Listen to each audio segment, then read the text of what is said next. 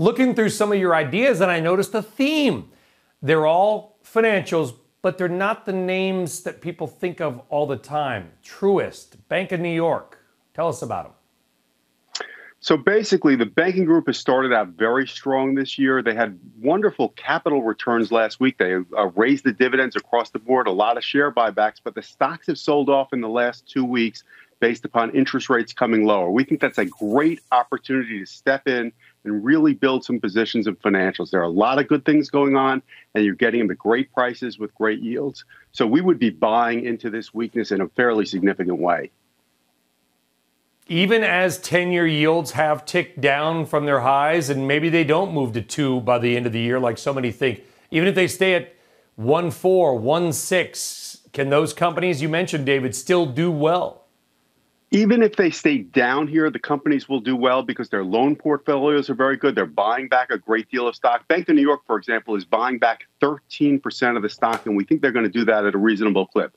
The other part of the story, however, is we don't think that rates are going to stay down here. The economy is coming back very strong. Inflation is definitely kicking in. We hope that it's transitory, but at a minimum, it is kicking in and should be three, three and a half percent level.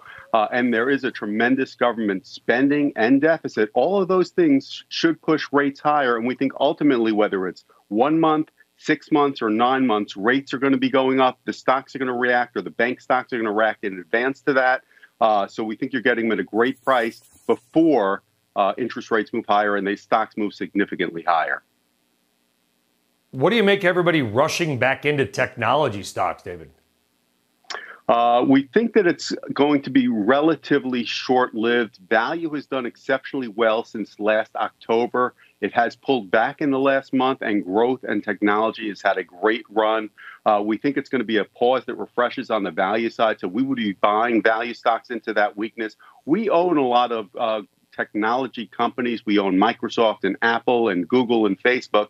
They've had a great run in the last year. They've had a great run in the last month. In terms of our overall portfolio, we like them, but we don't think they're going to be the greatest contributors or leaders in the back half of the year. We think other areas that have not done as well are going to start to yeah. play catch up. So we like technology, but we would not be jumping uh, all in here. Shepard Smith here. Thanks for watching CNBC on YouTube.